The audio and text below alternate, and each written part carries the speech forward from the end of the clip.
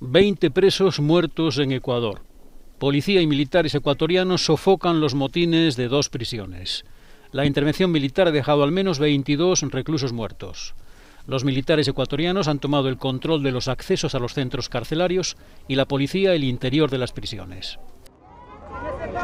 El presidente de Ecuador, Guillermo Lasso, tras declarar el estado de emergencia en las cárceles como respuesta a los amotinamientos, advirtió que va a combatir las bandas organizadas. A las mafias que pretenden amedrentar a este país.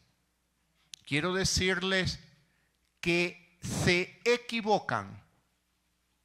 Se equivocan si creen que este gobierno va a actuar con la misma tibieza que los anteriores. Se equivocan si creen que nos va a temblar la mano. Les quiero decir que todos ustedes serán derrotados.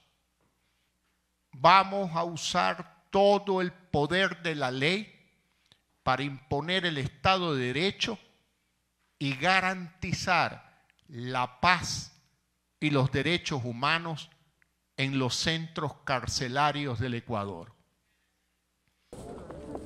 Familiares de los presos acudieron a las prisiones de Guayas, cerca de Guayaquil, y a la de Cotopaxi, próxima a la ciudad andina de La Tacunga. Desesperada porque mi hijo dice que no tiene resguardo policial adentro y que no es un motín, no es un motín. Es simplemente una represalia que hay adentro, pero están solos. Yo de mi parte a mi hijo no sé ni qué habrá pasado. No, no se sabe porque mi hijo está, está incomunicado. Están aquí presentes con, esperando noticias de su familiar y nadie nos da respuesta.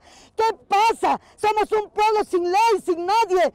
En los últimos años se han registrado duros enfrentamientos entre bandas en las cárceles. En abril pasado, las peleas entre bandas dejaron unos 80 reos fallecidos en el interior de las prisiones de Ecuador.